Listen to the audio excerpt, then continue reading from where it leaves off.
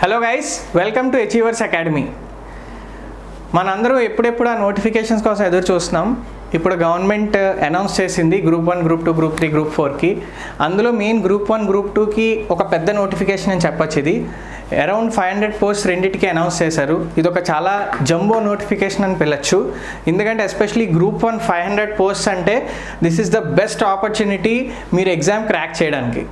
Okay and ఇవాళ మన క్లాస్లో ఏంటి డిస్కషన్ అంటే ఎకానమీ సిలబస్ ఓకే ఎందుకు ఎకానమీ సిలబస్ని తీసుకుని ఎక్స్ప్లెయిన్ చేస్తున్నామంటే మనలో చాలామంది ఏంటంటే ఎకానమీ యాజ్ అ సబ్జెక్ట్ వాళ్ళ స్కూల్లో కానీ గ్రాడ్యుయేషన్లో కానీ లేదు.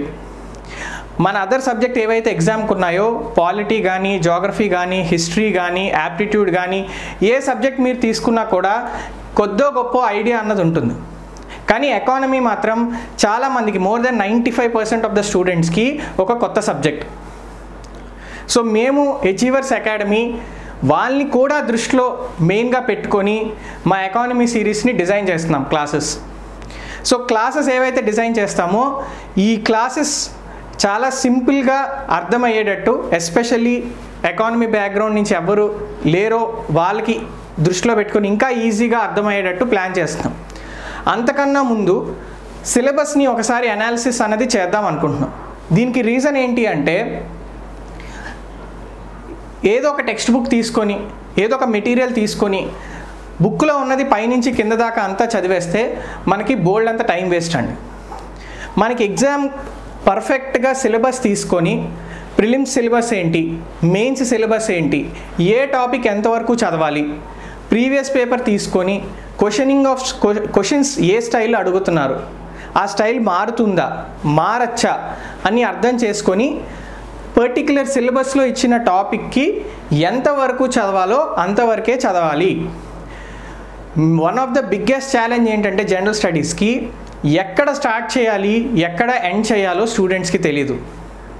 ఓకే? సో ఆ ఉద్దేశంలోనే ఫస్ట్ మేము ఈ వీడియో ఎకానమీని మెయిన్గా దృష్టి పెట్టుకొని సిలబస్ అనాలిసిస్ అన్నది చేస్తున్నాం for both group one and group two. మీరు TSPSC group one notification group two notification పాతవి తీసుకుంటే సిలబస్ తీసుకుంటే గ్రూప్ వన్లో ఒక ఫైవ్ చాప్టర్స్ ఉన్నాయి గ్రూప్ టూలో ఒక ఫైవ్ చాప్టర్స్ ఉన్నాయి. బట్ రెండు సిలబస్ కంపేర్ చేసుకుంటే గ్రూప్ టూలో ఒకే ఒక చాప్టర్ ఎక్కువ ఉంది. సో గ్రూప్ వన్లో కూడా ఆ చాప్టర్ని ఇంక్లూడ్ చేసుకోవచ్చు. గ్రూప్ వన్లో ఇండైరెక్ట్గా ఇచ్చారు ఆ చాప్టర్. గ్రూప్ టూలో కొంచెం స్పెసిఫై చేసి ఇచ్చారు. సో ఓవరాల్గా ఈ సిక్స్ చాప్టర్స్ ఏవైతే ఉన్నాయో ఆ సిక్స్ చాప్టర్స్ కానీ కంప్లీట్ చేసుకోగలిస్తే ఎకానమీ మీకు మంచి స్కోరింగ్ అవుతుంది. అండ్ మీకు ఈ కాన్ఫిడెన్స్తో ఎలా చెప్తున్నాడు అని అనుకోవద్దు. మీరు ఫర్ ఎగ్జాంపుల్ అదర్ ఎగ్జామ్స్ తీసుకుంటే for example two thousand nineteen APPSC ఏదైతే గ్రూప్ వన్ జరిగిందో మనది వాళ్ళది కూడా సేమ్ సిలబస్. అక్కడ ప్రిలిమ్స్లో థర్టీ మార్క్స్ ఎకానమీ అడిగితే more than twenty four score చేసేటట్టు ఇచ్చారు పేపర్. ఓకే? అది కూడా గ్యారంటీ సిలబస్కి స్టిక్ అయి చదివితే ఆన్సర్ చేయొచ్చు. సో అదే మాడ్యూల్ని అదే టెంప్లెట్ని ఇక్కడ పెట్టుకొని మనం Telangana group one group two సర్వీసెస్కి సిలబస్ని అనాలిసిస్ చేస్తాం. వే ఆఫ్ క్వశ్చనింగ్ అన్నది సేమ్ ఉంటుంది ఇంచుమించు. అండర్స్టాండింగ్ మాత్రం మనం అర్థం చేసుకోవాలి. Okay? So here we are to make things simple for you so Indian economy ఏదైతే ఉందో గ్రూప్ వన్ గ్రూప్ టూకి మేము సిలబస్ అనాలిసిస్ చేస్తున్నాం ఇవాళ. So let's start so first topic వచ్చేసి national income okay national income అంటే ఏంటి? తెలుసుకునే ముందు మనం చాలాసార్లు న్యూస్లో ఇండియా జీడిపి పెరుగుతుంది. లేకపోతే కోవిడ్ అప్పుడు జీడిపి తగ్గింది. అసలు జీడిపి అంటే ఏంటి? జీడిపిని ఎలా క్యాలిక్యులేట్ చేస్తారు? ఒకటే మెథడ్ ఉందా? త్రీ మెథడ్స్ ఉన్నాయా? జీడిపి నుంచి నేషనల్ ఇన్కమ్కి సంబంధం ఏంటి? దాని రిలేటెడ్ టాపిక్స్ ఏంటి? ఇవి మాత్రం మనం అర్థం చేసుకుంటే సింపుల్గా ఫస్ట్ టాపిక్ అన్నది కంప్లీట్ చేయొచ్చు. జీడిపి అంటే సింపుల్ భాషలో ఒక సంవత్సరంలో ఏ ఐటమ్స్ అయితే ఇండియాలో ప్రొడ్యూస్ అవుతున్నాయో ఆ ఐటమ్స్ ఒక ధరని మొత్తం అన్ని ఐటమ్స్ ప్రొడ్యూస్ అయిన వాటికి ధరని యాడ్ చేసుకుంటూ పోతే మనకి జీడిపి వస్తుంది. సో జీడిపి క్యాలిక్యులేషన్ అన్నది త్రీ మెథడ్స్ కామన్ మెథడ్స్లో జరుగుతుంది. ఒకటి ఇన్కమ్ మెథడ్ ఒకటి ఎక్స్పెండిచర్ మెథడ్ ఇంకొకటి value added method okay? So ప్రతి మెథడ్ ఎలా వేరియబుల్స్ తీసుకుని ఎలా క్యాలిక్యులేట్ చేస్తాము జీడిపిని మూడు క్యాలిక్యులేట్ చేసి మూడు వేరియబుల్స్ని తీసుకుని క్యాలిక్యులేట్ చేస్తే ఒకటే వస్తుందా జీడిపి ప్రజెంట్ ఎకనామిక్ సర్వే ఏదైతే రిలీజ్ చేశారో ఆ డేటాని తీసుకుని బడ్జెట్లో ఇచ్చిన ఫిగర్స్ని కలుపుకొని మనం ఈ సిలబస్ కంప్లీట్ చేస్తాం ఈ పర్టికులర్ చాప్టర్కి ఒకసారి జీడిపి అర్థమయ్యాక ఇందులో ఇంకొన్ని కాన్సెప్ట్స్ జీడిపిలో రీసెంట్ చేంజెస్ ఏమి తీసుకొచ్చారు? దీని associated topics GNP gross national product దీనితో పాటు డిప్రిసియేషన్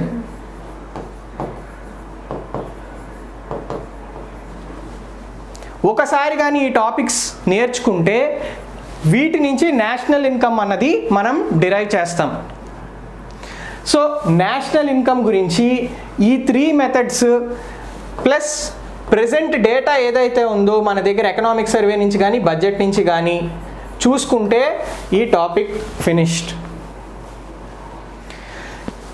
జీడిపిలో ఇంకొంచెం నేర్చుకోవాల్సింది ఏంటి అంటే జీడిపి మెథడ్ ఏదైతే మనకు మెథడ్ క్యాలిక్యులేషన్కి తీసుకుంటున్నామో అందులో అడ్వాంటేజెస్ ఏంటి? ఒక కంట్రీ ప్రోగ్రెస్ని అంచనా వేయడానికి జీడిపి ఒకటే మార్గం ఉందా? లేకపోతే వేరే వేరే మార్గాలు ఉన్నాయా? ఉంటే జీడిపి కన్నా అది ఎలా బెటర్ లేకపోతే జీడిపి ఎలా బెటర్ ఒకవేళ వేరేది బెటర్ అయితే జీడిపి కాకుండా అది ఎందుకు క్యాలిక్యులేట్ చేయట్లేదు? సో ఫైనల్గా నేషనల్ ఇన్కమ్ ఈ ఫార్ములాస్ నుంచి డిడక్ట్ చేసుకుని మనం నేషనల్ ఇన్కమ్ని క్యాల్కులేట్ చేసుకుంటాం. So concepts and measurements national ఇన్కమ్కి ఇంతే. దీని దాటి చదవక్కర్లేదు. హిస్టరీ దానికి ఏంటి? ఎప్పుడు ఏ ఇయర్లో స్టార్ట్ చేశారు? అవన్నీ అవసరం లేదు. ఇంకా మనం అర్థం చేసుకోవాల్సింది అనుకుంటే జీడిపి డేటా ఏదైతే ఉంటుందో ఇండియాది ఓవరాల్ నైన్టీన్ ఫార్టీ సెవెన్ నుంచి ఏ సైకిల్స్లో పెరిగాయి? ఏ సైకిల్స్లో తగ్గాయి? నైన్టీన్ ఫార్టీ సెవెన్ నుంచి జీడిపి అలా పెరుగుతూనే ఉందా? లేకపోతే ఎప్పుడైనా మైనస్ అయ్యిందా? మైనస్ అయితే పర్టికులర్గా అప్పుడే ఎందుకు జరిగింది? అన్నది మనం చదువుకోగలిస్తే మనకి ప్లానింగ్ చాప్టర్ ఏదైతే ఉందో ఆ ప్లానింగ్ చాప్టర్లో కూడా ఇది హెల్ప్ అవుతుంది. ఈ పర్టికులర్ టాపిక్ అన్నది. Okay second part nominal and real income nominal and real ఈ పదాలకి చిన్న అర్థం చెప్తాను. దాన్ని బట్టి మీకు ఈజీగా టాపిక్ అర్థమవుతుంది. సో ఫర్ ఎగ్జాంపుల్ ఇప్పుడు ఒక బైక్ ఇవాళ నేను కొనుక్కున్నాను. ఆ బైక్ కాస్ట్ లక్ష రూపాయలు. ఓకే? ఒక రెండు సంవత్సరాలు అయింది. అదే బైక్ అప్పుడు నాలుగు లక్షల రూపాయల రేట్ ఉంది. ఓకే? ఇంకొక రెండు సంవత్సరాలు అయింది అదే బైకు ఆరు లక్షల రూపాయలు అయింది ఇప్పుడు ఇందాక మీకు జీడిపి అంటే ఏం చెప్పాను? ఏవైతే ఐటమ్స్ ప్రొడ్యూస్ చేశారో ఆ ప్రొడ్యూస్ చేసిన వాల్యూకి ఐటమ్స్ ఒక వాల్యూని అన్నీ యాడ్ చేసుకుంటూ వెళ్తే మనకి జీడిపి వస్తుంది. ఓకే? సో ఒకటే బైక్ టూ థౌజండ్ ట్వంటీ టూలో వన్ ల్యాక్ ఉంది. టూ థౌజండ్ ట్వంటీ ఫోర్లో ఫోర్ ల్యాక్స్ ఉంది టూ థౌజండ్ ట్వంటీ సిక్స్లో సిక్స్ ల్యాక్స్ ఉంది so just for name sake the value of GDP has grown but in reality that growth has no effect on the economy మనకి number of units పెరిగితే అప్పుడు better GDP వస్తుంది. Since ఒకటే యూనిట్కి cost price vary అవుతుంది కాబట్టి. So మనం two thousand twenty ఫోర్లో టూ థౌజండ్ ట్వంటీ సిక్స్లో కంపారిజన్ చేసుకున్నప్పుడు టూ థౌజండ్ ట్వంటీ టూ కన్నా మన ఎకానమీ బాగా గ్రో అయిందా? లేకపోతే తగ్గిందా? అని కంపేర్ చేసుకున్నప్పుడు బేస్తో కంపేర్ చేసుకుంటాం. సో ఎక్స్ట్రా ఏదైతే రేట్ పెరిగిందో అది పక్కకు తీసేసి ఓన్లీ వాల్యూస్ యూనిట్స్ తీసుకుని రేట్ కౌంట్ చేసుకుంటాం. సో రియల్ అంటే నిజంగా ఎంత పెరిగింది? నామినల్ అంటే ఇన్ఫ్లేషన్తో కలిపి అంటే రేట్ పెరిగింది. జస్ట్ అది ఆ ఎఫెక్ట్ని వదిలేకుండా రేట్ పెరిగిన దాంతో మాత్రమే కన్సిడర్ చేసుకుని మనం డిఫైన్ చేస్తే దాన్ని నామినల్ అంటారు. ఆ పెరిగిన రేట్ని తీసేసి బేస్తో కంపారిజన్ చేసుకున్నప్పుడు యాక్చువల్ కంపారిజన్ చేస్తే వచ్చేది రియల్. ఓకే? సో మనం ఏదైతే ఈ కాన్సెప్ట్స్ నేర్చుకున్నామో ముందు వాటితో కంపేర్ చేసి మనం బెటర్ అయ్యామా? జీడిపి ప్రకారంగా నేషనల్ ఇన్కమ్ పెరిగిందా? లేకపోతే తగ్గిందా? కోవిడ్ వచ్చినప్పుడు పెరిగిందా? తగ్గిందా?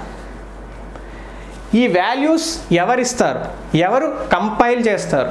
ఎంత ఫ్రీక్వెంట్గా మనకి డేటా అన్నది దొరుకుతుంది? ఓకే? సో ఇవన్నీ కూడా ఈ చాప్టర్లో ఉంటాయి. మీకు మీరు చూస్తున్నారు చాలా సింపుల్ చాప్టర్ ఇది ఓకే? నెక్స్ట్ టాపిక్ చూద్దాం. Structure and growth of Indian economy అసలు ఎకానమీ అంటే ఏంట్రా? అంటే మళ్ళీ సింపుల్గా చెప్పడానికి ఒక ప్లేస్ ఉన్నది. అంటే ఫ్యాక్టరీ ఉన్నది. అక్కడ ప్రొడ్యూసర్స్ అంటే ఎవరైతే తయారు చేస్తారో ఫ్యాక్టరీలో తయారు చేస్తారు. కన్జ్యూమర్స్ ఎవరైతే ఉంటారో వాళ్ళు కొనుక్కోవడానికి వస్తారు. ఓకే సో ఈ ఫ్యాక్టరీలో కొనుక్కుని వాళ్ళు వెళ్ళిపోవచ్చు వేరే ప్లేస్కి. అక్కడి నుంచి ఇక్కడికి డెలివరీ అవ్వచ్చు. దానికి ట్రాన్స్పోర్ట్ వాడచ్చు. వీళ్ళు పేమెంట్ చేయడానికి బ్యాంకింగ్ సిస్టమ్ వాడచ్చు. ఓకే సో ఈ హోల్ ఇంట్రాక్షన్ ఏదైతే ఉందో ప్రొడ్యూసర్స్కి కన్జ్యూమర్స్కి మధ్యన ఆ ఇంట్రాక్షన్ని మనం ఎకానమీ అని పిలుస్తాం. ఓకే ప్రొడ్యూసర్స్కి కన్జ్యూమర్స్కి మధ్యన ఇంట్రాక్షన్ ఏదైతే జరుగుతుందో దాన్ని మనం ఎకానమీ అని పిలుస్తాం. ఇప్పుడు ఈ ఇద్దరి మధ్యన ఇంట్రాక్షన్స్ ఏవైతే ఉన్నాయో అది గవర్నమెంట్ పాలసీస్ ప్రకారంగా గవర్నమెంట్ విధానాల ప్రకారంగా ఆ వే ఆఫ్ ఆపరేటింగ్ అన్నది మారచ్చు. ఓకే సో ఈ ఎకానమీ అన్నది ఆపరేషన్ గవర్నమెంట్ పాలసీ మీద ఓవరాల్గా డిపెండ్ అవుతుంది. మనది ఓపెన్ ఎకానమీయా క్లోజ్డ్ ఎకానమీయా సోషల్ ఎకానమీయా కమ్యూనిస్ట్ ఎకానమీయా అలా రకరకాల పదాలు ఈ ఎకానమీని డిఫైన్ చేస్తాయి. Okay so structure and growth of Indian economy అంటే ఓవరాల్గా సెక్టర్స్ ఏవైతే ఎకానమీలో ఉన్నాయో ఈ ఇంటరాక్షన్స్ ఓవర్ ద ఇయర్స్ ఎలా చేంజ్ అయ్యాయి? ఎందుకు కొన్ని సెక్టర్స్కి ఎక్కువ ఇంపార్టెన్స్ ఇచ్చారు?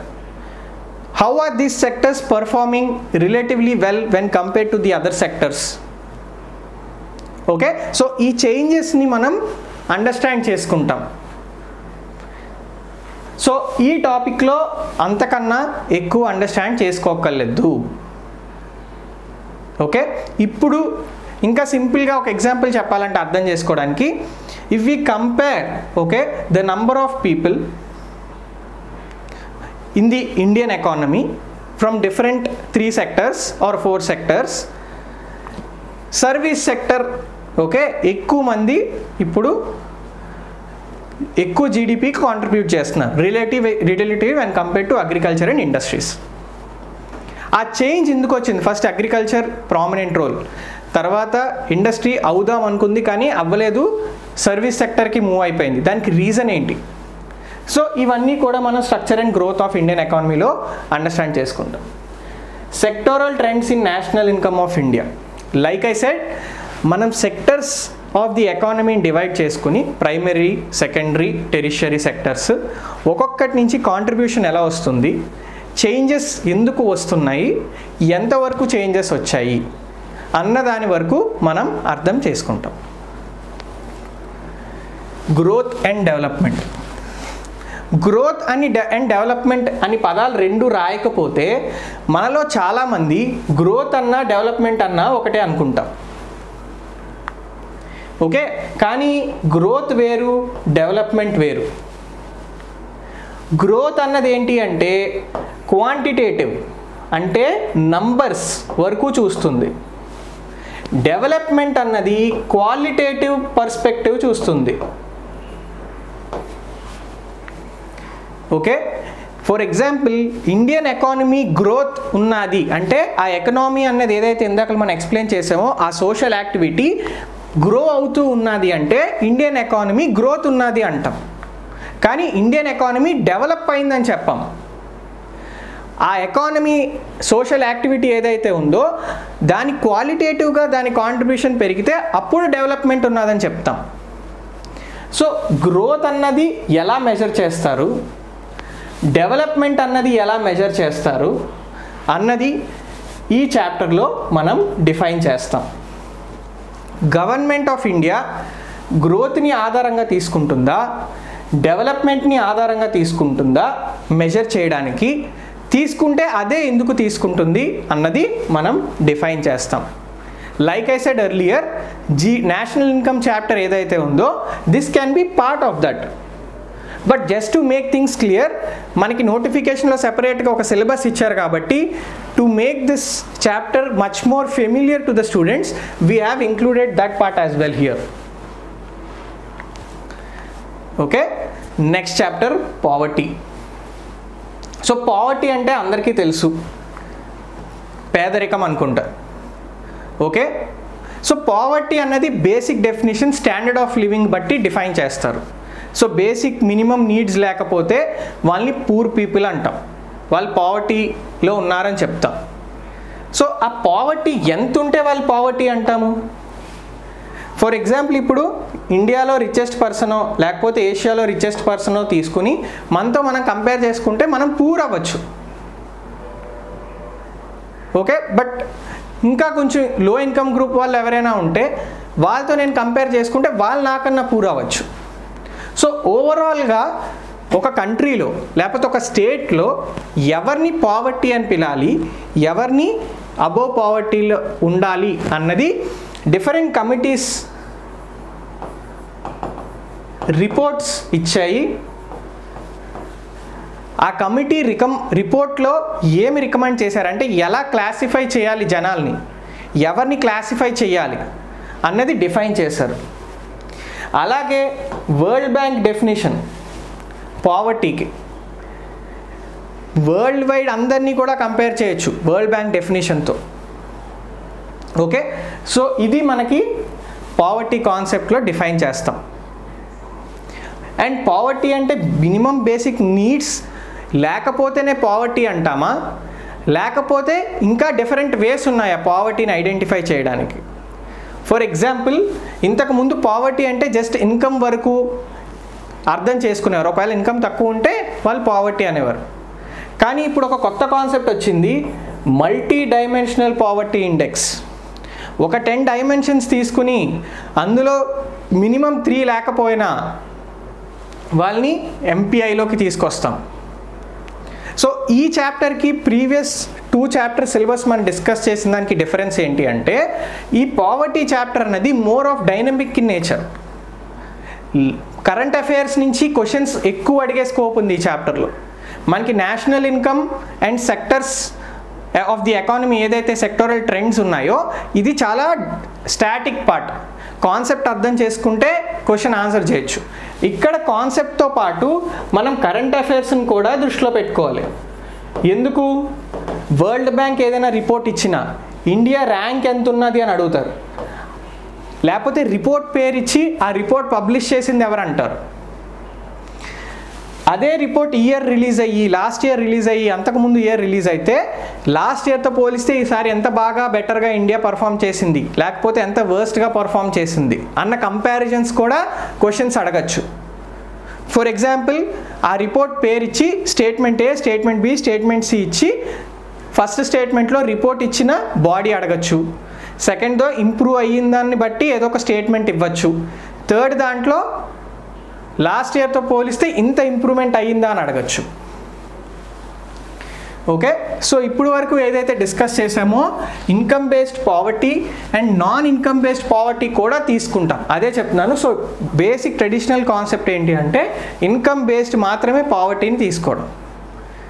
ఓకే ఫర్ ఎగ్జాంపుల్ ఇప్పుడు ఏదైనా ఒక వార్ టోర్న్ కంట్రీ ఉన్నదనుకోండి. లేకపోతే హై ఇన్కమ్ ఇన్ఈక్వాలిటీ కంట్రీ ఉంది. అంటే ఫర్ ఎగ్జాంపుల్ ఒక కంట్రీలో ఉంటే కంట్రీలో top one percent of the people ninety five percent of the people అసెట్స్ని own చేసుకున్నారు అనుకోండి so ninety five percent of the people only five percent అసెట్స్ని మాత్రమే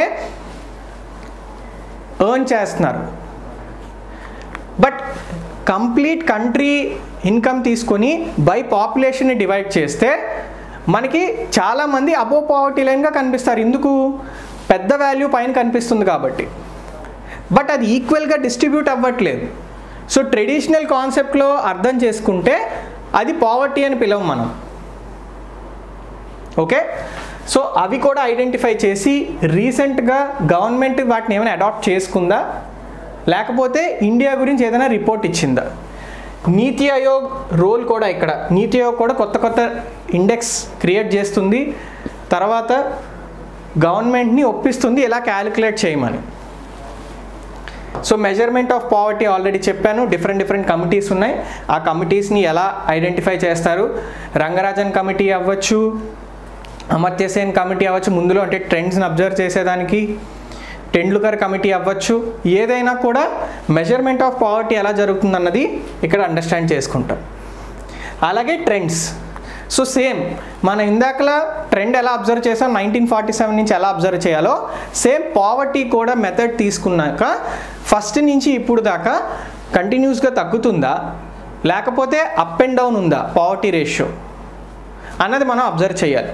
ఒకవేళ అప్ అండ్ డౌన్ ఉంటే దాన్ని మనం ఫైవ్ ఇయర్ ప్లాన్స్తో కంపేర్ చేసుకుని ఆ పర్టికులర్ ఇయర్లో ఎందుకు తక్కువ ఉంది అర్థం చేసుకోవాలి.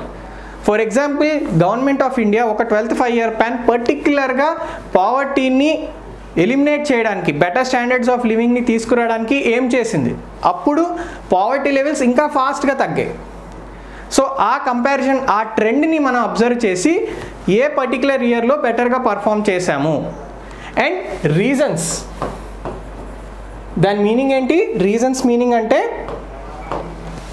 స్కీమ్స్ ఏదైతే గవర్నమెంట్ లాంచ్ చేసిందో పావర్టీ నుంచి లిఫ్ట్ చేయడానికి ఆ స్కీమ్స్ డీటెయిల్స్ తెలుసుకోవాలి.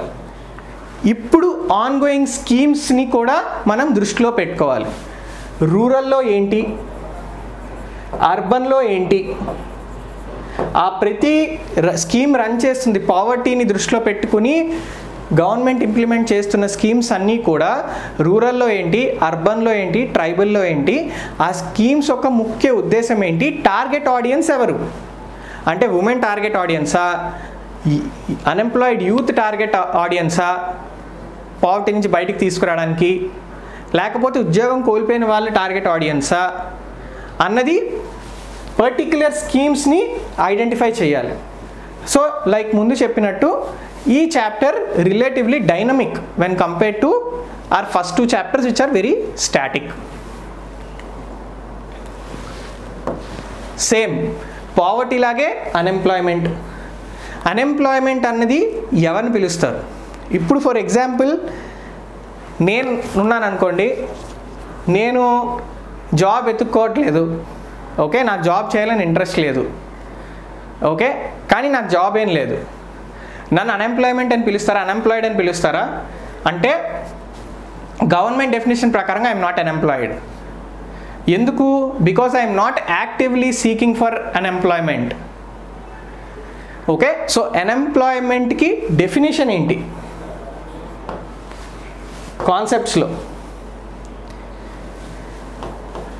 different types of unemployment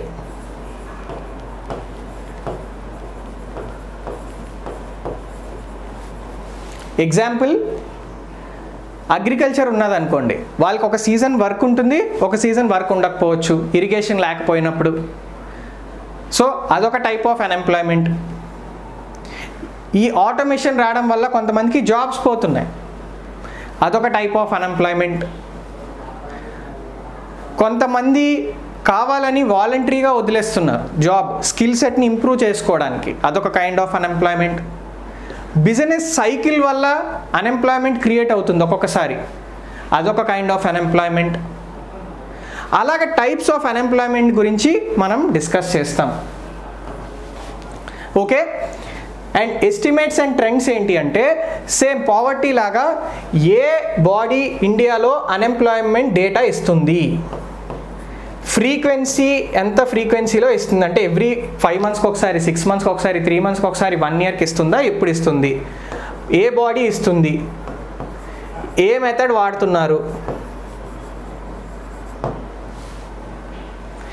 trends అంటే ఏంటి అంటే same overall nineteen forty seven to present unemployment trend ఎలా ఉంది? ఫర్ ఎగ్జాంపుల్ లాస్ట్ ఇయర్ తీసుకుంటే హైయెస్ట్ అన్ఎంప్లాయ్మెంట్ రేట్ ఉంది ఇండియాలో.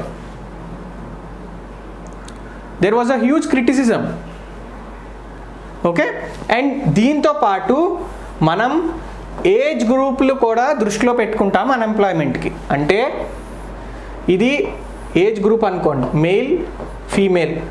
ఇది ఏజ్ ఈ సై మన పిరమిడ్ పైకి వెళ్తున్న కొద్దీ ఏజ్ పెరుగుతుంది అనమాట ఏ పర్టిక్యులర్ ఏజ్ గ్రూప్లో ఎక్కువ అన్ఎంప్లాయ్మెంట్ ఉన్నది. ఓకే? సో మన ఎస్టిమేట్స్ ట్రెండ్స్ ఏంటి అంటే ఇయర్ వైజ్ కాకుండా ఇది కూడా దృష్టిలో పెట్టుకుని ప్రిపేర్ అవ్వాలి.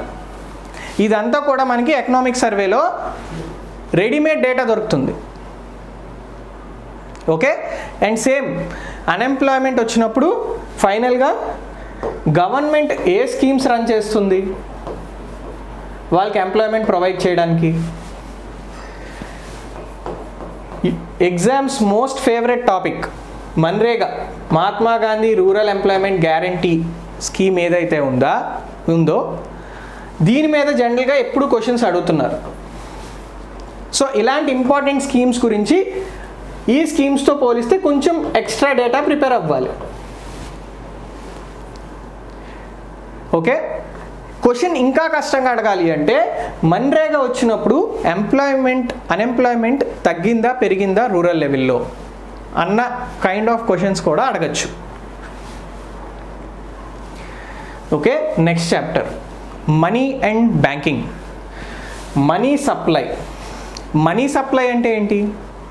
అంటే సింపుల్గా ఇప్పుడు టెన్ కేజీ ఆఫ్ టమాటో ఉన్నది మార్కెట్లో అది కొనడానికి పదిహేను మంది ఉన్నారు. పదిహేను మంది దగ్గర ఒక్కొక్క అమౌంట్ ఉన్నది. Say for example first person దగ్గర టెన్ రూపీస్ సెకండ్ పర్సన్ దగ్గర ట్వంటీ రూపీస్ థర్డ్ పర్సన్ దగ్గర థర్టీ రూపీస్ ఫోర్త్ పర్సన్ దగ్గర forty so on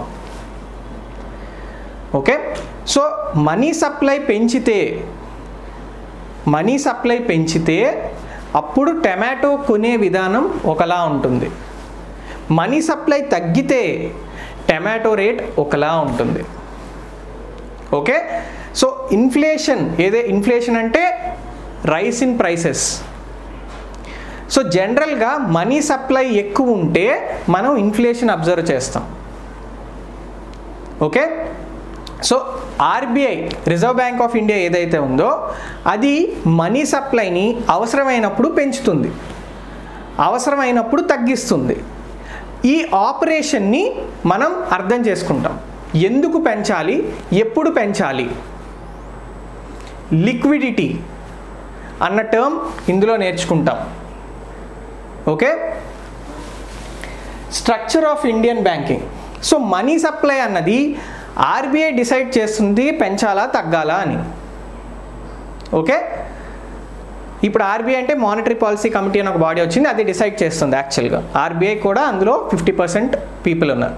Okay so structure of Indian banking so ఈ మనీ సప్లై ఏదైతే ఉందో ఈ మనీ సప్లై ఆర్బీఐ తీసుకున్న decisions money flow అనేది బ్యాంక్స్ నుంచి జరుగుతుంది. So banks are very very important for money supply so structure of Indian banking అంటే మనం నైన్టీన్ ఫార్టీ సెవెన్ నుంచి ఇండియన్ బ్యాంకింగ్ సిస్టమ్ ఎలా ఉంది? ఓకే బ్రాడ్గా అర్థం చేసుకోవాలంటే three phases of Indian banking ఉన్నారు. సో ఈ త్రీ ఫేసెస్లో ఫైనల్ ఫేజ్ ఏంటి అంటే ఇప్పుడు గవర్నమెంట్ నేషనలైజ్డ్ బ్యాంక్స్నే అమల్గమేట్ చేస్తుంది. అంటే దాని దగ్గర ఉన్న బ్యాంక్స్నే కలుపుకుంటుంది. మనం రీసెంట్గా union bank of India Andhra bank అలాగా అమల్గమేషన్ చూసాం. సో ఈ ఫేస్లో స్ట్రక్చర్ ఆఫ్ ఇండియన్ బ్యాంకింగ్ అన్నది మారుతుంది. సో ఈ ట్రెండ్ని నైన్టీన్ ఫార్టీ సెవెన్ నుంచి అబ్జర్వ్ చేస్తాం. ఎందుకు బ్యాంకింగ్ ఫస్ట్ నేషనలైజేషన్కి వెళ్ళాం? నేషనలైజేషన్ అంటే ఏంటి? ప్రైవేట్ ప్లేయర్ చేతిలో ఉన్న బిజినెస్ని గవర్నమెంట్ దాని అండర్లోకి తెచ్చుకుంటుంది. For example state bank of India ఒకప్పుడు ప్రైవేట్ ప్లేయర్స్ది గవర్నమెంట్ దాన్ని నేషనలైజ్ చేసింది. ఓకే సో ఈ స్ట్రక్చర్ ఆఫ్ ఇండియన్ బ్యాంకింగ్ని అర్థం చేసుకుంటాం. వీటితో పాటు మనకి ఎకానమీలో ఉన్న చేంజెస్ని దృష్టిలో పెట్టుకొని ఆర్బీఐ అండ్ గవర్నమెంట్ కొన్ని కమిటీస్ని పెట్టింది. అందులో ఒక most important and prominent committee ఏంటి? నరసింహన్ కమిటీ సో ఆ కమిటీ పెట్టినప్పుడు కొన్ని రిఫార్మ్స్ని అనౌన్స్ చేసింది సజెస్ట్ చేసింది. అందులో కొన్ని రిఫార్మ్స్ని యాక్సెప్ట్ చేశారు కొన్ని రిఫార్మ్స్ని యాక్సెప్ట్ చేయలేదు. అలాగే ఇంకొక రౌండ్ ఆఫ్ కమిటీ కూడా పెట్టారు నరసింహం గారే. ఇంకొన్ని ఇయర్స్ తర్వాత మళ్ళీ సెకండ్ రౌండ్ ఆఫ్ రిఫార్మ్స్ చేశారు. అందులో మళ్ళీ కొన్ని రిఫార్మ్స్ తీసుకున్నారు కొన్ని రిఫార్మ్స్ తీసుకోలేదు. ఆ రిఫార్మ్స్ ఏంటి అన్నది మనం అర్థం చేసుకుంటాం. ఫస్ట్ దాంట్లో ఏంటి? సెకండ్ దాంట్లో ఏంటి? ఫస్ట్ దాంట్లో ఎందుకు అప్పుడు పెట్టారు? సెకండ్ దాంట్లో ఎందుకు అప్పుడు ప్రపోజ్ చేశారు? దాని వెనకాల రీజన్ ఏంటి? Okay?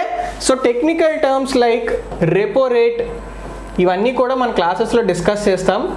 Reverse repo rate bank rate okay? Etcetera etcetera ఇవన్నీ కూడా మనం మనీ సప్లైలో డిస్కస్ చేస్తాం. Non banking financial institutions. దీనికి ఒక simple example Muthoot Muthoot finance. Okay? ఈ నాన్ బ్యాంకింగ్ ఫైనాన్షియల్ ఇన్స్టిట్యూషన్స్కి జనరల్ బ్యాంక్కి డిఫరెన్సెస్ ఏంటి? ఎందుకు నాన్ బ్యాంకింగ్ ఫైనాన్షియల్ ఇన్స్టిట్యూషన్స్ వచ్చాయి? ఆల్రెడీ బ్యాంక్స్ ఉన్నా కూడా. వీళ్ళ టార్గెట్ ఆడియన్స్ ఒకలా కాదా? ఒకలైతే ఎందుకు వాళ్ళు కేటర్ చేయలేకపోయారు? ఇప్పుడు వీళ్ళు ఎందుకు కేటర్ చేస్తున్నారు? ఇద్దరి మధ్యన డిఫరెన్సెస్ ఏంటి? ఆర్బీఐ దృష్టిలో ఇద్దరికి ఒకటే రూల్స్ ఉంటాయా? లేకపోతే డిఫరెంట్ ఉంటే ఏంటి ఇద్దరికి డిఫరెన్స్ ఎవరు వీటిని రెగ్యులేట్ చేస్తారు? రీసెంట్గా వీటి వల్ల ఇండియన్ ఎకానమీని ఏమైనా ఎఫెక్ట్ అయ్యాయా? అంటే పెరిగినా తగ్గినా. ఓకే ఈ నాన్ బ్యాంకింగ్ ఫైనాన్షియల్ ఇన్స్టిట్యూషన్స్లో ఇప్పుడు కొత్త కొత్త టైప్ ఆఫ్ బ్యాంక్స్ వస్తున్నాయి. ఎన్బిఎఫ్సిస్ కాకుండా థర్డ్లో small banks payment banks okay ఇలాంటివి కూడా మనం ఈ చాప్టర్లో అర్థం చేసుకుంటాం. So reforms in banking sector already చెప్పాను. నరసింహన్ కమిటీ. ఫైనల్గా regulation of credit by RBI చెప్పాను కదా ఇప్పుడే. సో బ్యాంక్స్కి ఎన్బిఎఫ్సిస్కి ఏమైనా రూల్స్ ఉన్నాయా? ఎంతవరకు వాటిని రెగ్యులేట్ చేస్తుంది ఆర్బీఐ ఏ టూల్స్ని వాడి దాన్ని రెగ్యులేట్ చేస్తుంది ఆర్బీఐ? సో ఈ చాప్టర్లో ఇంతకన్నా ఎక్కువ అవసరం లేదు. Again this chapter is static only five percent is dynamic అంటే న్యూస్లో వచ్చినవి ఈ చాప్టర్లో యాడ్ చేసుకోవాల్సిన topics only five percent okay public finance గవర్నమెంట్కి ఈ స్కీమ్స్ రన్ చేయాలి ఆ స్కీమ్స్ రన్ చేయాలి అంటే ఫస్ట్ దానికి డబ్బులు కావాలి. ఓకే? డబ్బులు ఎలా వస్తాయి? బై ఇంపోజింగ్ ట్యాక్సెస్ ట్యాక్సెస్ మాత్రమే కాదు నాన్ ట్యాక్సెస్ కూడా ఉంటాయి. అంటే ఫీజ్ కానీ పెనాలిటీ కానీ డివిడెండ్స్ కానీ ప్రాఫిట్స్ కానీ ఇవన్నీ కూడా గవర్నమెంట్ సోర్సెస్ ఆఫ్ ఫినాన్స్. మనం ఈ చాప్టర్లో ఏం అర్థం చేసుకుంటామంటే గవర్నమెంట్ ఎక్స్పెండిచర్ అలాగే గవర్నమెంట్ రెవెన్యూ ఏదైతే ఉందో అది two accounts revenue account and capital account. ఈ రెండింటిని అర్థం చేసుకొని రిసిప్ట్స్లో two types revenue receipts capital receipts ఎక్స్పెండిచర్లో క్యాపిటల్లో two types capital receipts capital expenditure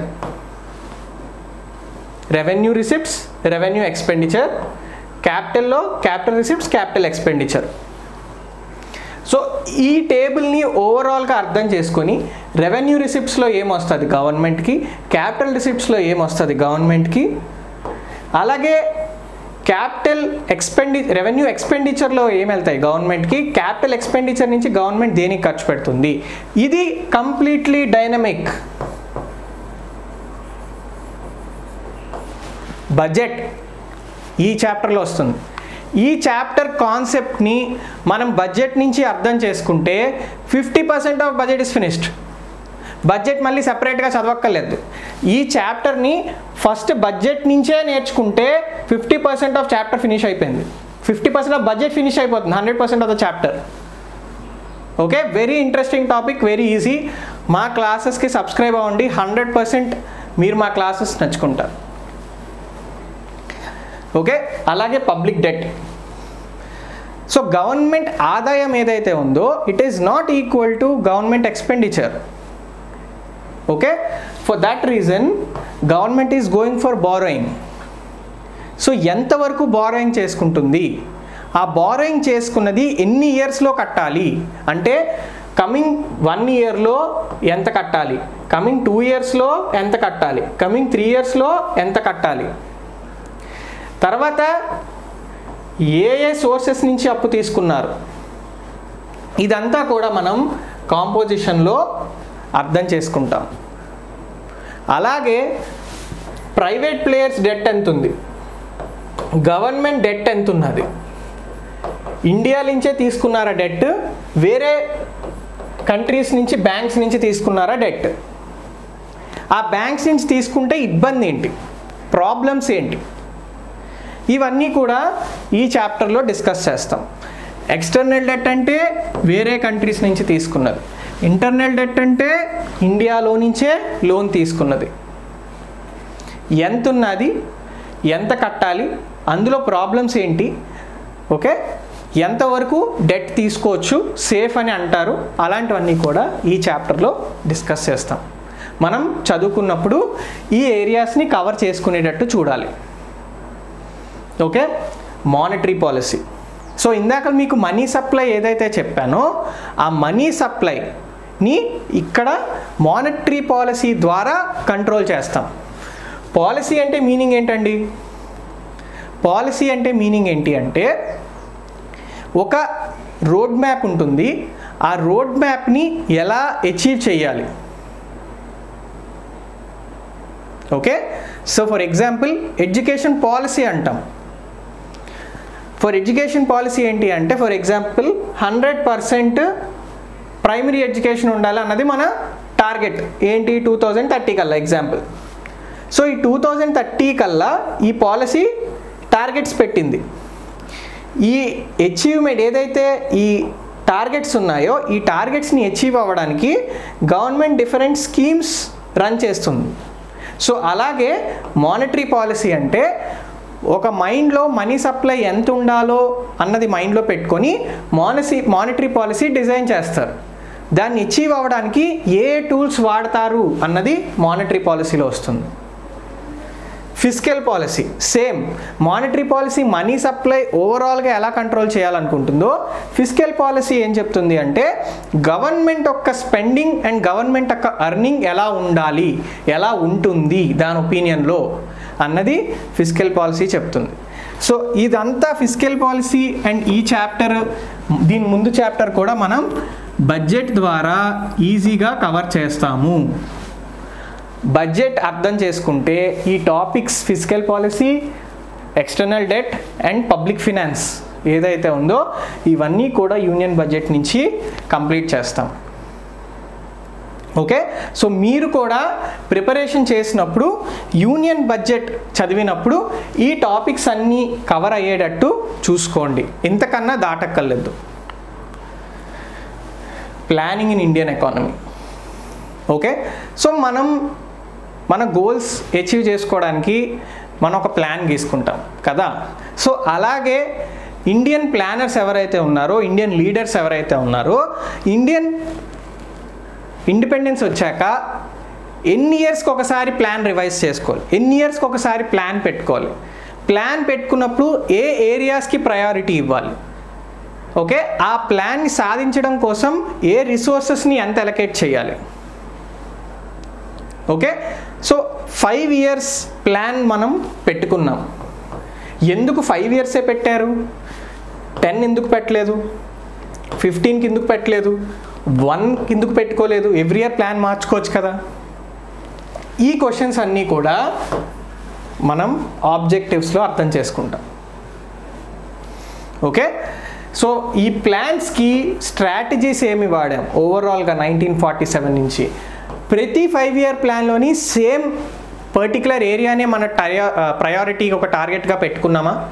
లేకపోతే ఒకసారి అగ్రికల్చర్కి ఎక్కువ ఇంపార్టెన్స్ ఇచ్చాము ఒకసారి అన్ఎంప్లాయ్మెంట్కి ఎక్కువ ఇచ్చాము ఒకసారి ఇండస్ట్రీస్కి ఎక్కువ ఇచ్చాం లేకపోతే దేనికి ఎక్కువ ఇచ్చాం అన్నది తెలుసుకోవడానికి ప్రయారిటీస్ ఈ చాప్టర్ చాలామంది ఫెమిలియర్గా ఉంటారు. ప్రతి ఫైవ్ ఇయర్ ప్లాన్ థీమ్ ప్రతి five year plan growth period growth rate ఎంత అచీవ్ చేసింది ఏ స్కీమ్స్ లాంచ్ చేశారు ఇదే ప్లానింగ్ చాప్టర్లో చదువుతాం. ప్రతి ప్లాన్ ఎవరైతే అడాప్ట్ చేసుకున్నామో ఆ ప్లానర్స్ పేర్లు. Okay achievements of five year plans ఇది ఇంపార్టెంట్ ఏ ఫైవ్ ఇయర్ ప్లాన్స్లో ఏమేమి అచీవ్ చేసాం అలాగే ఫెయిలియర్స్ కూడా మనం చూసుకోవాలి. Last five year plan twelfth five year plan ఉన్నది. అందులో inclusive growth eleventh five year ప్లాన్లో కూడా ఇంక్లూజివ్ గ్రోత్ మాట్లాడారు. ట్వెల్త్లో ఇంకా ఎక్కువ ఇంపార్టెన్స్ ఇచ్చారు ఇంక్లూజివ్ గ్రోత్కి ఇంక్లూజివ్ గ్రోత్ అంటే ఏంటి? ఆల్ సో ఆల్ పీపుల్ని ఇన్వాల్వ్ చేసేదానికి. అంటే ఇంతకు ముందు చేయలేదా? ఒకవేళ అడాప్ట్ చేస్తే అప్పుడు స్ట్రాటజీ ఏంటి? ఎందుకు ఫెయిల్ అయ్యాం? ఇప్పుడు మళ్ళీ ఎందుకు కొత్తగా ట్వెల్త్ ఫైవ్ ఇయర్ ప్లాన్లో తీసుకొచ్చాం? అన్నది ఈ చాప్టర్లో అర్థం చేసుకోవడానికి ట్రై చేయండి. లాస్ట్ బీజేపీ గవర్నమెంట్ వచ్చాక టూ థౌజండ్ ఫోర్టీన్లో ప్లానింగ్ కమిషన్ అన్న బాడీ ఏదైతే ఉందో దాన్ని తీసేసి నీతి ఆయోగ్ తీసుకొచ్చారు దాని ప్లేస్లో ఎందుకు సడన్గా సిక్స్టీ ఇయర్స్ నుంచి ఉన్న ప్లానింగ్ కమిషన్ వదిలేసి ఎందుకు సడన్గా నీతి ఆయోగ్ని తీసుకొచ్చారు? దాని రీజన్ ఏంటి? ఓకే? అది బేసిక్ డౌట్ ఆ డౌట్ని దృష్టిలో పెట్టుకొని మనం నీతి ఆయోగ్ ప్రిపేర్ అవ్వాలి. How is NITI Aayog better when compare to planning commission planning commission problems ఏవైతే ఉన్నాయో అవన్నీ నీతి ఆయోగ్ ఫుల్ఫిల్ చేస్తుందా? ఆ ప్రాబ్లమ్స్ని ఓవర్కమ్ చేస్తుందా? సో ఇదంతా కూడా స్టాటిక్ నీతి ఆయోగ్ మాత్రం డైనమిక్ ఎందుకు NITI Aayog number of reports ఇస్తుంది. నంబర్ ఆఫ్ ఇండిసెస్ ఇస్తుంది. నంబర్ ఆఫ్ సజెషన్స్ ఇస్తుంది. సో ఈ చాప్టర్లో ఇవన్నీ కూడా స్టాటిక్ ఇది ఒక్కటే డైనమిక్ ఓకే సో నీతి ఆయోగ్ అంటే జస్ట్ ఎన్ని మెంబర్స్ వాళ్ళ పీరియడ్ ఏంటి? ఎవరు హెడ్ చేస్తారు? ఎవరు పర్మనెంట్ మెంబర్స్ ఎవరు టెంపరీ మెంబర్స్ దాని వరకు ఆగిపోవద్దు. NITI Aayog latest development reports ఏమిస్తుందో కూడా ఖచ్చితంగా చూడండి. ఓకే? మనం నైన్టీన్ ఫార్టీ సెవెన్ నుంచి ఎకానమీని ఒక సర్టెన్ వేలో అండర్స్టాండ్ చేసుకుంటూ వచ్చాం. దానికి కావాల్సిన చేంజెస్ తీసుకొస్తూనే ఉన్నాం అవసరమయ్యే కొద్దీ. బట్ ఒక పాయింట్ ఆఫ్ టైంలో ఎకానమీ మోడల్ ఏదైతే ఉందో దాన్ని ఒక్కసారిగా కొంచెం చేంజ్ చేసాం అదే నైన్టీన్ నైంటీ వన్ ఇయర్లో. ఎల్పిజి రిఫార్మ్స్ తీసుకొచ్చామంటాం. ఎల్ అంటే లిబరలైజేషన్ పి అంటే ప్రైవేటైజేషన్ జీ అంటే globalisation so LPG reforms nineteen ninety వన్లోనే ఎందుకు తీసుకొచ్చాం? నైన్టీన్ సెవెంటీలో ఎందుకు తీసుకురాలేదు? నైన్టీన్ ఫిఫ్టీలోనే ఎందుకు తీసుకురాలేదు? లేకపోతే టూ థౌజండ్లో ఎందుకు తీసుకురాలేదు? అప్పుడే తేవాల్సిన అవసరం ఏంటి? అసలు లిబరలైజేషన్ అంటే ఏంటి? ప్రైవేటైజేషన్ అంటే ఏంటి? గ్లోబలైజేషన్ అంటే ఏంటి?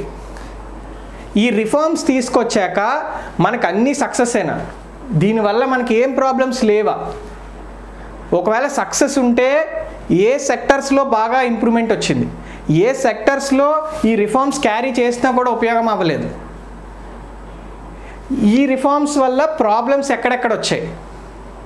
ఇది మనం ఈ చాప్టర్లో అర్థం చేసుకోవాలి.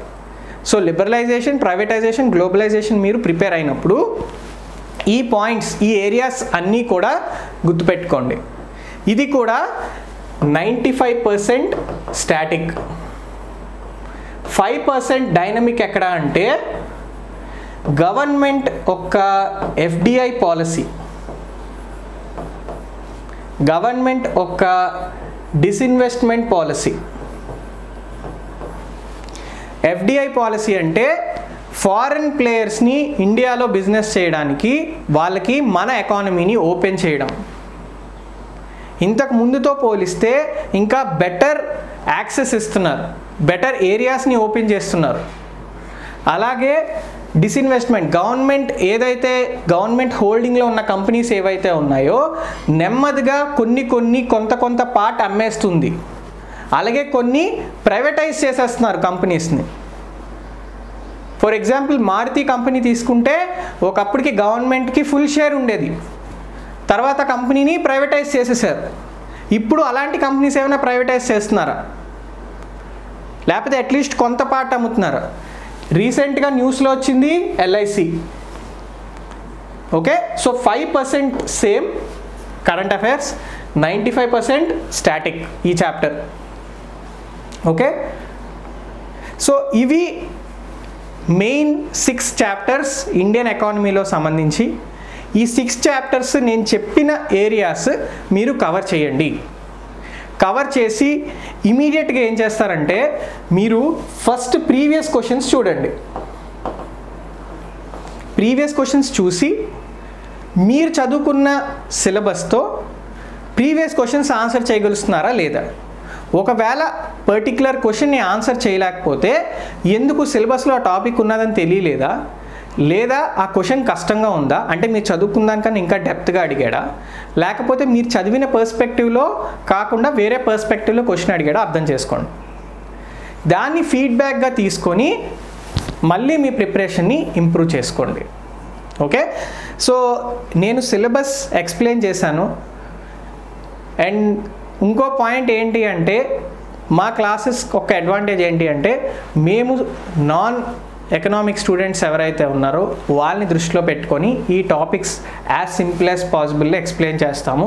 If you are interested please do subscribe our classes okay? Our classes are available in both english and telugu medium as well. And uh, before i end this video i wish you all the very best. Use this opportunity as wise as possible because this can completely change your life. Okay? One exam can really bring a very very big change in your life. I pray to god that you should succeed in this exam and reach higher phases of life. Thank you